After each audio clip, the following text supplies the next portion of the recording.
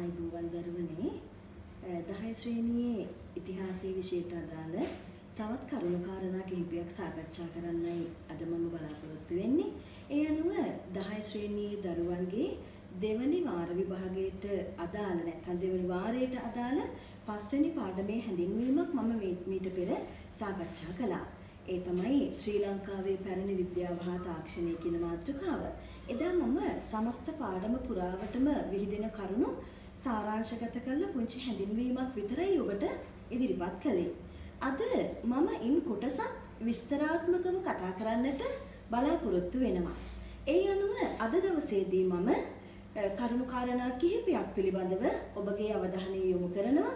ඒ තමයි සුසාන භූමි ඉදිකිරීම, නිවාස තාක්ෂණය, වළං තැනීම, යකඩ නිස්සාරණ කර්මාන්තය. මෙන්න මේ කියන කරුණු කාරණා ටික පිළිබඳ කරුණු විස්තරාත්මකව සහ නිදසුන් සහිතව විස්තර කරන්නටයි අද මම බලාපොරොත්තු වෙන්නේ. ඒ අනුව දරුවනේ ඔබ දන්නවා මේ පාඩම තුල අපි ශ්‍රී ලංකාවේ පැරණි අතීතයේ සැඟවුණු තාක්ෂණික ක්‍රම බොහොමයක් පිළිබඳව අධ්‍යයනය කරන්නට නියමිතයි. ඒකෙන් ප්‍රධාන කාරණාවක් තමයි සුසාන භූමි. ඒ අනුව මේ සුසාන භූමි සම්බන්ධව හොඳම නිදසුන තමයි රංචා මඩම සුසාන භූමිය. මොකක්ද මේ සුසාන භූමියේ තියෙන තාක්ෂණය? මේ සුසාන භූමිය සොයාගත්තේ ක්‍රිස්තු වර්ෂ 2007 දී පමණ කරන ලද කැණීමක ප්‍රතිඵලයක් ලෙස. මේ රංචාමඩම විද්‍යාල භූමියේ සිදු කරපු කැණීමකදී මෙවැනි සුසාන භූමියක තොරතුරු අනාවරණය කරගන්නට හැකියාව ලැබිලා තියෙනවා. ඒ අනුව ඒ සුසාන භූමියේ සොහොන් වලින් අනාවරණය කරගත්තු හඳුනාගත්තු තාක්ෂණික ක්‍රමවේදයන් කිහිපයක් අපිට ඉගෙන ගන්නට පුළුවන්. ඒ තමයි මේ මැටිඔරු අපි මේකට කියන්නේ මැටිඔරු සුසාන භූමියක්. මැටි වලින් තමයි මේ මැටිඔරු සුසානය හදලා තියෙන්නේ. ඒ අනුව ඒ අවශ්‍ය මැටි තෝරා ගැනීම ඒවා අවශ්‍ය ලෙස සුදුසු ලෙස පදම් කර ගැනීම එක්තරා තාක්ෂණයක්. ඒ වගේම මේ මැටි ඔරුව අවශ්‍ය ලෙස සුදුසු ඝනකමකින් සුදුසු උසකින් යුක්තව ඒ වගේම උසට සරිලන ඝනකමකින් යුක්තව ඉදිකර තිබීම එහි තාක්ෂණයක්. නැත්තම් මේක බිමට කඩාගෙන වැටෙනවා. ඒ අනුව ඒ තාක්ෂණය තුළ ඔවුන් සාමාන්‍යයෙන් අතීත මිනිසුන් මැටි තාක්ෂණය තුළ ඒ මැටි ශක්තිමත් කර ගැනීමට වළං තැනීමේදී ඒවා පුළුස්සා ගත්තේ ශක්තිමත් කරගන්න. ඒ වගේම අලංකාර කරගන්න. එහෙත් මේ සුසාන භූමිය මැටි වලින් හැදුවට මෙය පුළුස්සා ගත්තේ නැහැ. නමුත් මම කියන්නම් මේ සුසාන භූමිය තුල තිබිච්ච මැටි ඔරු ශක්තිමත් කරගත්තේ කොහොමද කියලා. මේ මිනිස්සු මැරුණාම ඇටකටු වාදිය මේ සුසානේට දාලා පුළුස්ස ගන්නවා. පුළුස්ස ගැනීම සඳහා ගින්දර යොදා ගන්නවා. ඒ යොදා ගන්නා ගින්දර වලින් මේ මැටි ඔරුවද පුළුස්සා ගන්නවා. ඒ වගේම මේ මැටි ඔරුවල තිබිලා පුංචි කවුලුවක් සිදුරු තිබිලා තියෙනවා. ඒ කවුලුව තියලා තියෙන්නේ කුමක් සඳහාද?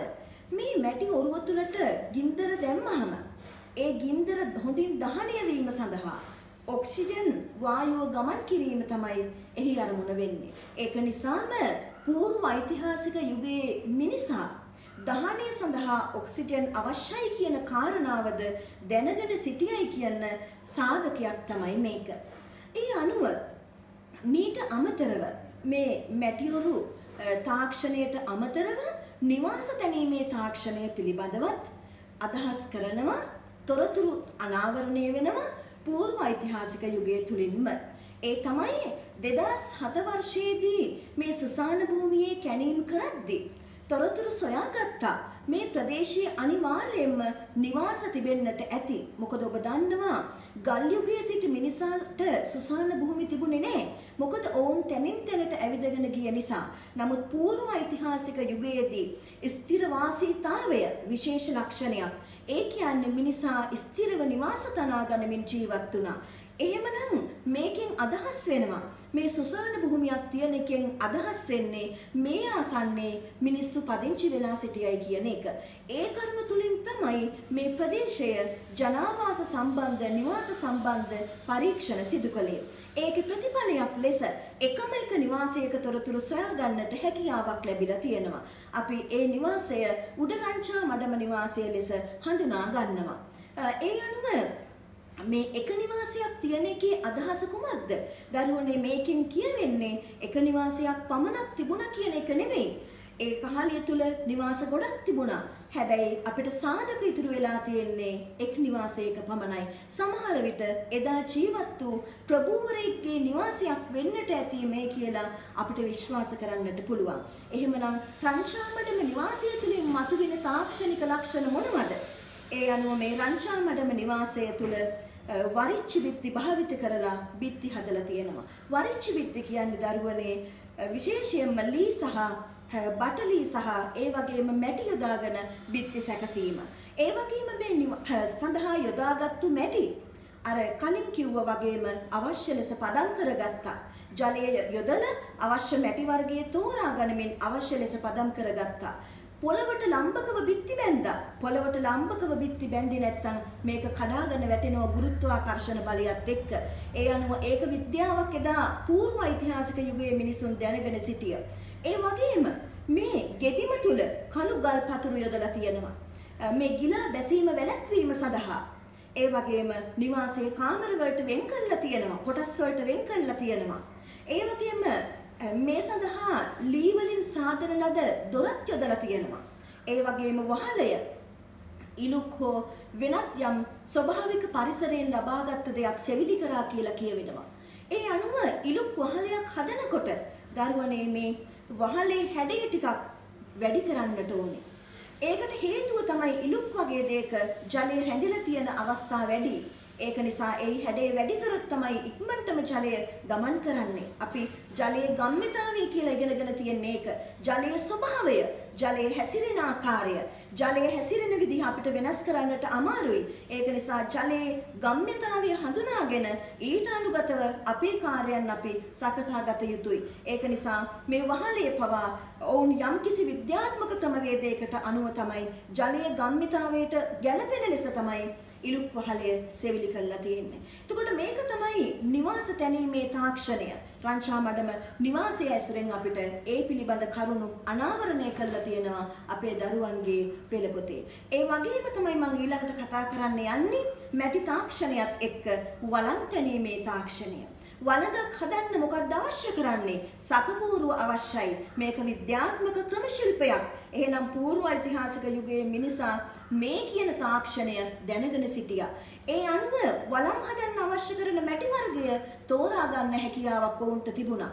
ඒ වගේම නිවාස තැනීම, සුසාන භූමි තැනීම, වළම් තැනීම මේ හැම එකකටම අවශ්‍ය කරන්නේ එකම ආකාරයේ මැටි වර්ග නෙවෙයි.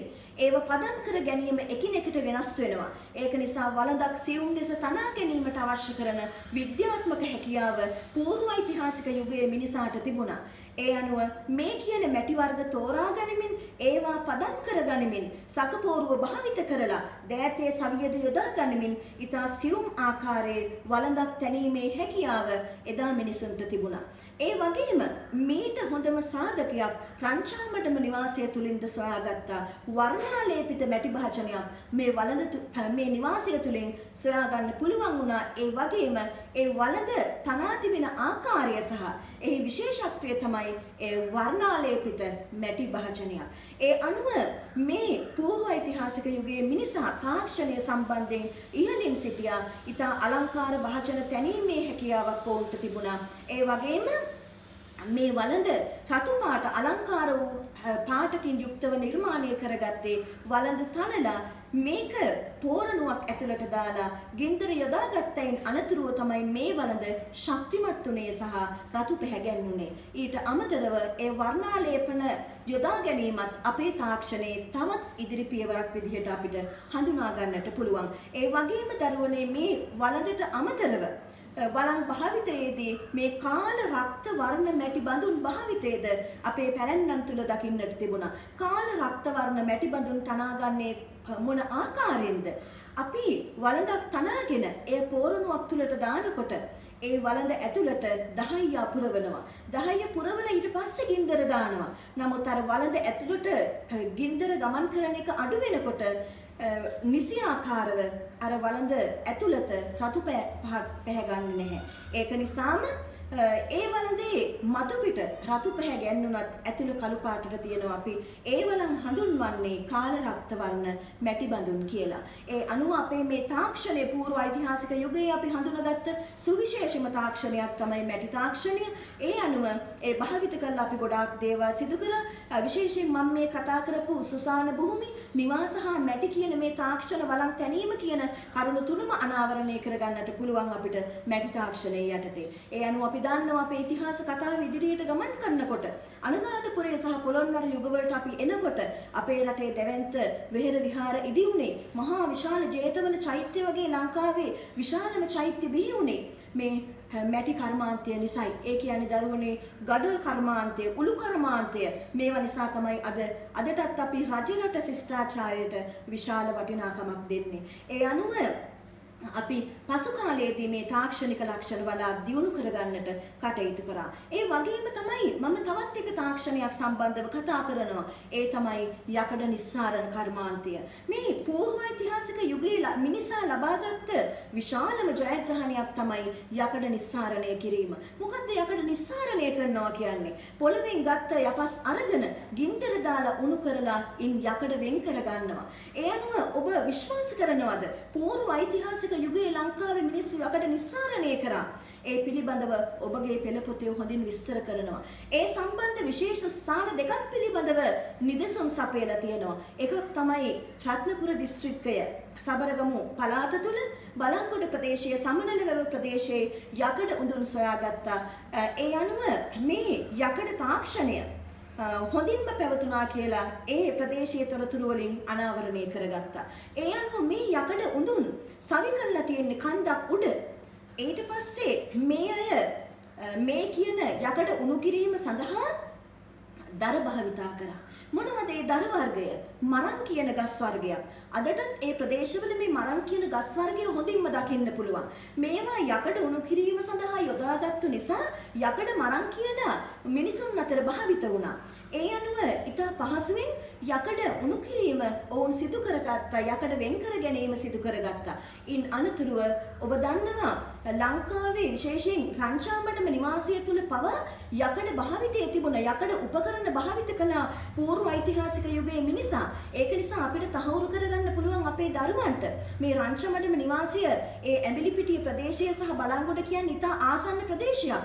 ඒක නිසා බලංගොඩ සමනලවෙව ප්‍රදේශයේ යකඩ නිස්සාරණය කරපු දේවල් යොදාගෙන මේ රංචමඩම නිවාසයේ ප්‍රදේශවල මිනිස්සු යකඩ උපකරණ භාවිත කරන්න ඇති. කම්මල් කර්මාන්තය ලංකාවේ තියෙන්නට ඇති එහෙනම්. මෙන්න මේ කියන කරුණු මේ තුලින් අපිට අනාවරණය කරගන්න පුළුවන්. ඒ විතරක් නෙවෙයි දරුවනේ සීගිරිය අලකොල වැව දෙහිගහ ඇලකන්ද ප්‍රදේශය යකඩ නිස්සාරණයට අනිත් නිදසුන වෙනවා. ඒ අනුව මේ මෙහි තියෙන විශේෂත්වය තමයි බලංගොඩ සමනලව ප්‍රදේශයේ මිනිසුන් ස්වභාවික සුළම් බලය යොදාගත්ත ගින්දර අවුලුවා ගැනීම සඳහා නමුත් සීගිරිය අලකොළ වැව ප්‍රදේශයේ මිනිස්සු භාවිතා කරලා තියෙන්නේ මයින්හම. ඒකෙත් පොඩි වෙනසක් තියෙනවා. නමුත් ඒ ප්‍රදේශ දෙක ගත්තාම ලංකාවේ ඈත ප්‍රදේශ දෙකක් ඒ අනුව යකඩ නිස්සාරණේ කර්මාන්තයට අපිට මේවා හොඳ නිදසුන් වෙනවා. ඒක නිසා බලන්න పూర్ව ඓතිහාසික යුගයේ මිනිසා තාක්ෂණයේ අතින් කෙතරම් දියුණු මට්ටමක් ළඟා කරගෙන තියෙනවද කියන එක. එහෙමනම් අද දවසේදී මම පස්වෙනි පාඩමට අදාළ අපේ 10 ශ්‍රේණියේ දරුවන්ගේ පස්වෙනි පාඩම ශ්‍රී ලංකාවේ පැරණි විද්‍යාව හා තාක්ෂණය කියන මාතෘකාවට අදාළ කරන කරුණු කාරණා කිහිපයක් තමයි මේ විදිහට විස්තර කරේ.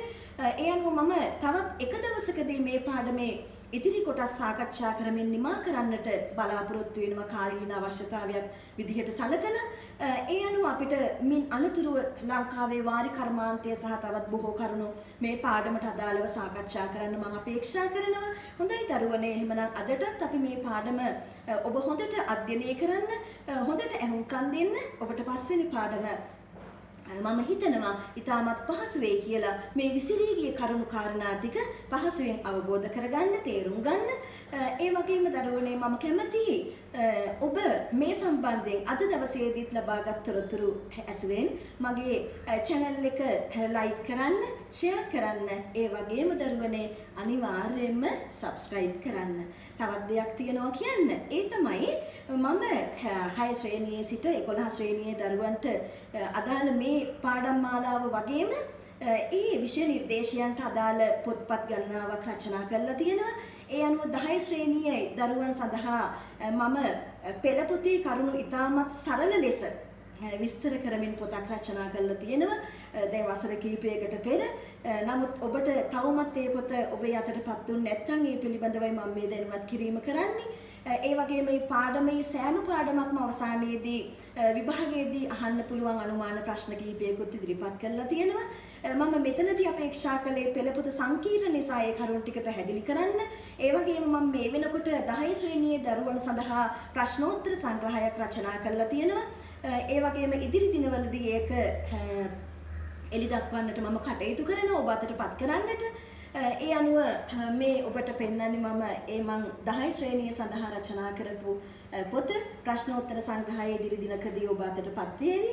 ඉතින් ඒ සම්බන්ධයෙන්ත් ඔබට තොරතුරු දැනගන්නට හැකියාව තියෙනවා. හොඳයි දරුවනේ එහෙමනම් අද මම මේ සාකච්ඡා කරපු මාතෘකාව මෙතනින් સમાપ્ત කරමින් ඊළඟ තවත් කොටසක් ඉතාමත් ඉක්මනට ඔබ අතරට රැගෙන එන්නට කටයුතු කරනවා. එතික් ඔබට ආයුබෝවන්